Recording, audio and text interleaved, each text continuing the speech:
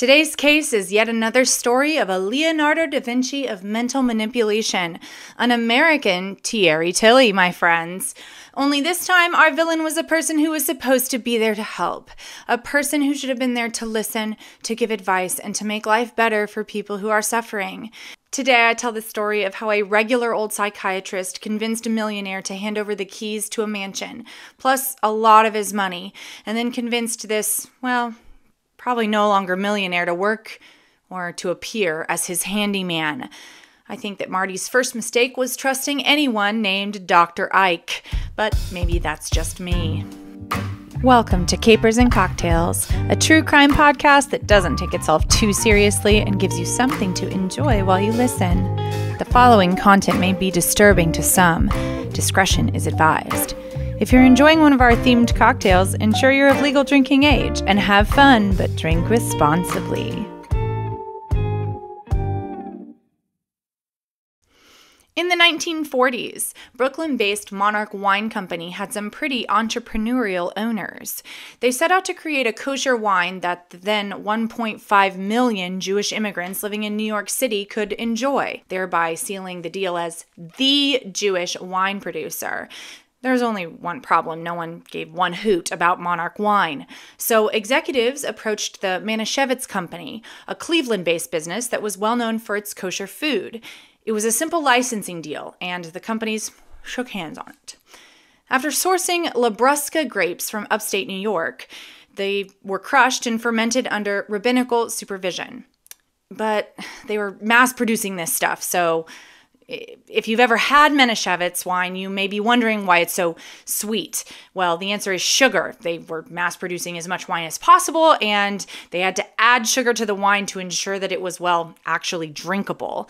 That's why it sort of tastes like grape jelly and uh, has a hangover to match. But I will say it makes a pretty nice sangria. Sangrias are Spanish drinks made of wine, fruit, and something bubbly.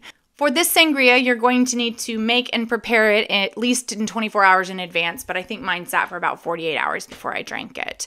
So press pause after I give these instructions, and I'll see you back here in 24 to 48 hours. My recipe has fruit I like, but you can substitute anything you'd prefer. Both of the drinks today have peaches, plums, and oranges, as well as we'll add some club soda right before we drink it. The cocktail has the Manischewitz, of course, in the classic and most well-known grape flavor. By the way, it costs about six bucks now. Inflation has also hit Manischewitz, but that's still pretty cheap. The mocktail replaces the alcohol with a bottle of grape juice. So you're to take your base and put it into a jar or a pitcher, and then you'll add the fruits that you like. Um, you'll let it marinate in the fridge for 24 to 48 hours. Make sure you cut up the fruit before you put it into the drink. Then, right before serving, you'll add some club soda. It's really just whatever it is to your taste. It's measure with your heart, people. It was the perfect time in Martin Markowitz's life to be taken advantage of. It was June in 1981, and 39 year old Marty was at a crossroads. A graduate of the Wharton School of Business and NYU Law, he had recently inherited his father's company, Associated Fabrics, a company founded by his father in 1928, after the deaths of both his father and his mother. According to the company's now defunct website, more on that later, Founded in 1928, AFC is today the world's largest theatrical fabric company. You'll find us not only at the Olympics, the Super Bowl, Mardi Gras, the Moscow Circus, the Rio Carnival, the Australian Skydiving Club, WrestleMania, and theme parks around the world, but also at your daughter's dance recital, your best friend's wedding, and in pettiskirts around the world. Marty's uncle had sued him in the previous year because he was unhappy that 50% of the company had been given to Marty. And Marty, who had been engaged, broke it off because the fiance refused to sign a prenuptial agreement. Marty was unexpectedly and unpreparedly running a large company and was also an unexpected millionaire. It was a stressful time, and Marty felt overrun by responsibilities. Marty's rabbi, Shlomo Riskin, at the time Lincoln Square's synagogue's leader, listened patiently to Marty. He had already brought Marty closer to his faith, so Marty trusted him. Rabbi Riskin recommended that Marty see a psychiatrist, and in fact, he had one in mind. Dr. Isaac Herschkopf was a psychiatrist in his late 20s. He graduated with an MD in psychiatry in 1975 from NYU's medical school. Dr. Ike was pompous and obsessed with status. He would constantly show off pictures of himself with celebrities, such as Gwyneth Paltrow, who was evidently a patient of Ike's for a while. Marty began seeing Dr. Ike three times per week. Yes, you heard that correctly. Three times a week. Six to seven hours a week. It was clear from the beginning that Ike was not your typical psychiatrist. He was known for taking Marty on walks around New York City and would often go with Marty to directly confront the sources of his problems. At first, this helped. Marty was gaining confidence in setting boundaries, something he'd struggled with during his adult life. But then, over the course of two years, Ike quietly and aggressively inserted himself into all aspects of Marty's life. Marty would say that he very quietly started pouring salt into my open wounds. The manipulation began almost immediately. Dr. Ike started by, in a classic move, isolating Marty from members of his family. As a therapeutic decision, he insisted that Marty have a second bar mitzvah in May of 1983. He told Marty not to invite his sister Phyllis or her children. Phyllis, Marty's younger sister by three years, also worked at the fabric company. Dr. Ike told Marty to serially lower her pay by $5,000, which he did several times. Dr. Ike would then insist that Phyllis be fired and disinherited from her family business, which Marty did. Dr. Ike drafted a letter that Marty would write saying, No one in the family would ever inherit any of my money and it was delivered by messenger to Phyllis's then 11 year old daughter. If Phyllis ever contacted Marty for any reason, Marty was instructed to bring all of that communication in to Dr. Ike, and Dr. Ike would interpret it. Okay, sure. Dr. Ike even had him cut his sister out of all of the family photos.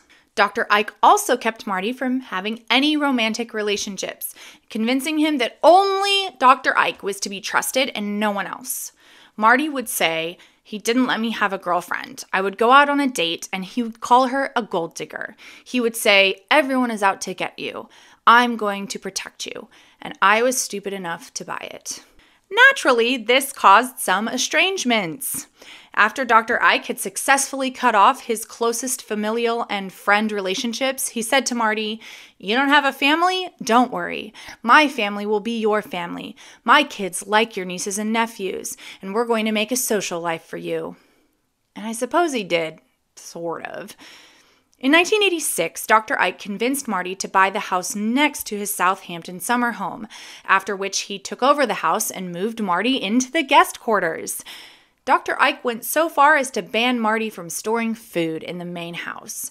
And bombastic Dr. Ike? Well, the guy liked to throw some serious parties. But first, the house had to be made party ready. At the direction of Dr. Ike, but funded by Marty, they put in a large pool with a slide, naturally, a full size basketball court, a tennis court, and multiple ponds stocked with koi. There was also a hot tub and a professionally designed 18 hole mini golf course.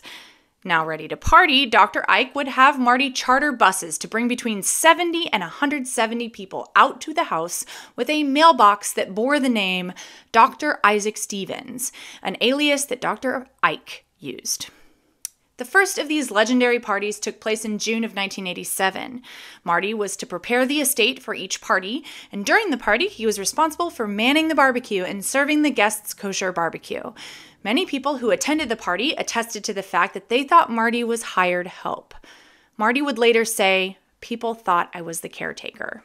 In September of 1984, Dr. Ike convinced Marty to co create a private foundation called the Yaron Foundation. He listed himself, Dr. Ike, and Dr. Ike's wife as officers and directors. This foundation was co created by Ike and Marty, but Ike somehow never put any money into it. He did, however, draw money out of it. The psychiatrist used his money for donations to, among others, the Ramaz School, an elite Jewish school on the Upper East Side of Manhattan, which his three daughters attended. At the same time, at the behest of Dr. Ike, Marty would change his will to make the foundation the sole recipient of the entire estate, and he would give Dr. Ike not only power of attorney, but also make him sole executor of the will. Dr. Ike convinced Marty to list him as a co owner of Marty's bank account, which at least at one point contained around $2.5 million. And then Dr. Ike set his sights on Associated Fabrics, with eyes on inserting himself into management decisions.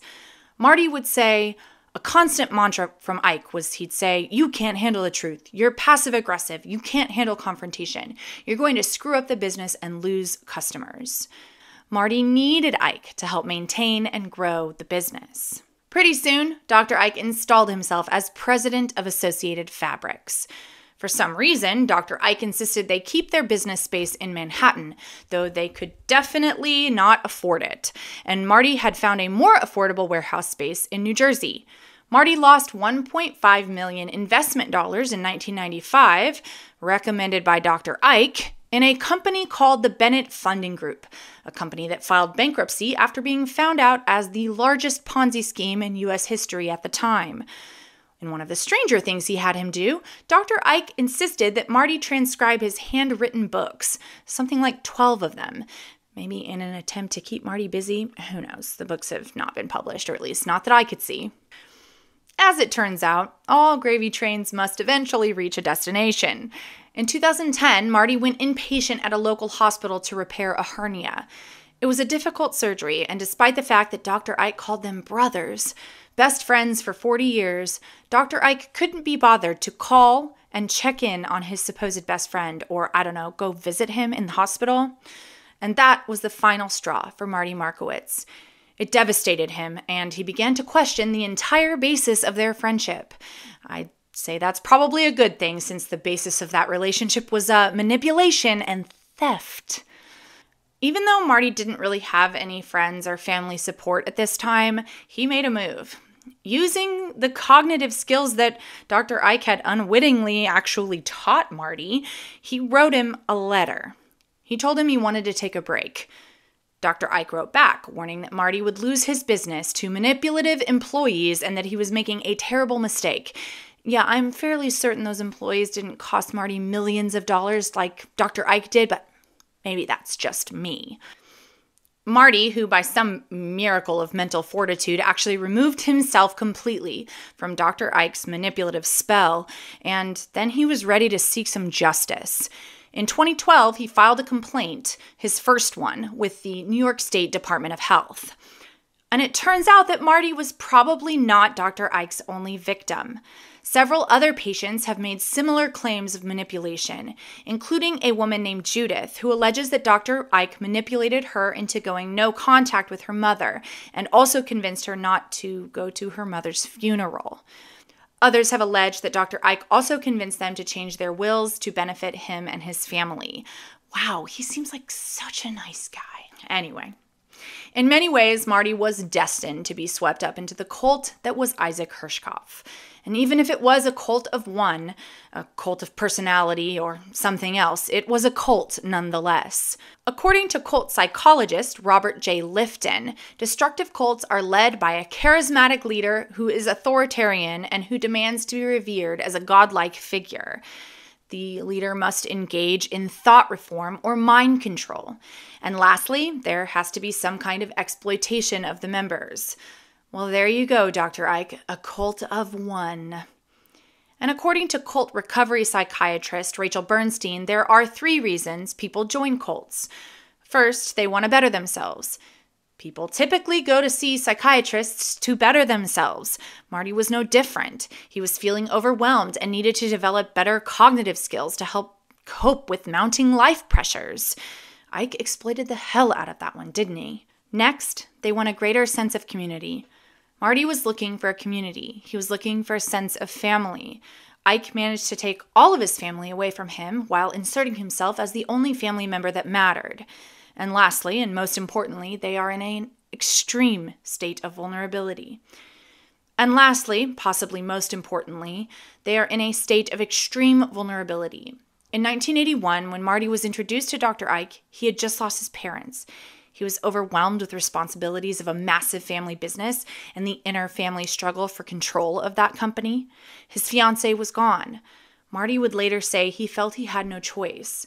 Dr. Ike's hold over him was irresistible, due in large part to his vulnerable mental state. Dr. Isaac Herschkopf resigned from the American Psychiatric Association, and in 2019, he voluntarily resigned from NYU's medical school as well as from FASPE, the fellowships at Auschwitz for the study of professional ethics, on whose board of directors he sat. Nice. The New York State Department of Health launched a two year investigation into Dr. Ike's practices, and in April of 2021, his medical license was revoked. At 70 years old, he was found guilty of 16 charges of professional misconduct, including fraudulent practice, exercising undue influence, moral unfitness, and negligence. The New York State Department of Health concluded that Dr. Ike broke minimal acceptable standards of care in the psychotherapeutic relationship. That's an understatement. The decision was based on records and testimony from three of Dr. Ike's patients. Marty was patient A.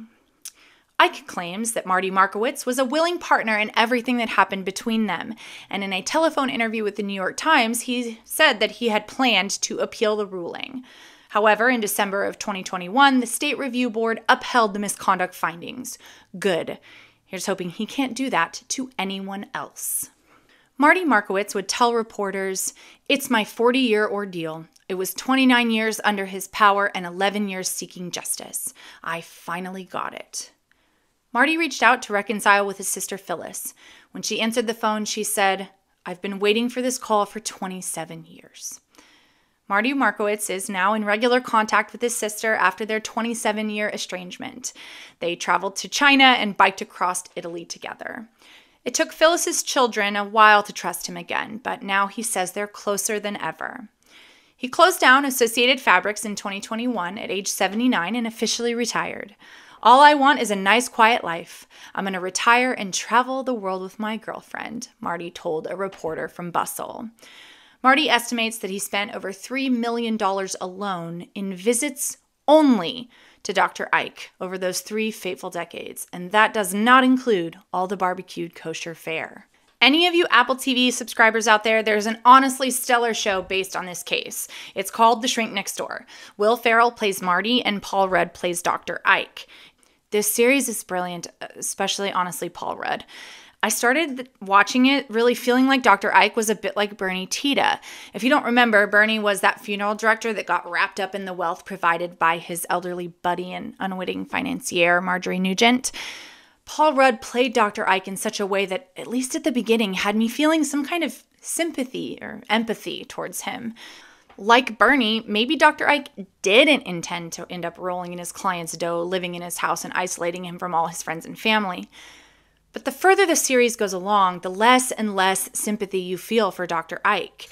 It becomes clear that he was a Thierry Tilly through and through. Everything that Dr. Ike did was plotted and purposeful. It makes it all the more nefarious that he was a psychiatrist. His entire job was to help Marty develop better cognitive and emotional skills, and instead he warped Marty's brain for his entire benefit.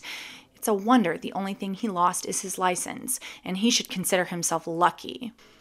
I will also mention that this TV series is based on a podcast of the same name, The Shrink Next Door, written and hosted by Joe Nocera, a columnist for Bloomberg.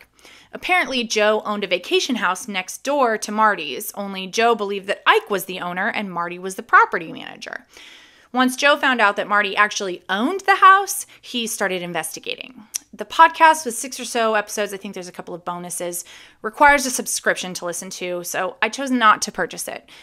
It's my personal conviction that I don't think podcasts should be kept behind firewalls unless it's bonus episodes or something like that. But if you want to take a listen, go for it. And People can earn their money however they want.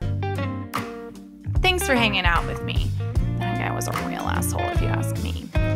Next week's mocktail does include more of that spiritless Kentucky 74 that we used in an earlier episode. If you're a mocktail fan and don't have it, I suggest you buy it. I've included the Amazon link in the description box if that's helpful to you and you don't mind helping to fund Jeff Bezos' next jet. If you looked in my Amazon purchase list, you'd know that I would never judge you for that. Speaking of the description box, are you having a virtual happy hour soon? I can tell this story or another one for your group. The link to the booking page is also in the description box. Next week, we're robbing a bank, people, robbing a bank. Well, okay, we're not robbing a bank. FBI, whoever's listening, we're just learning about a bank robbery. Just learning.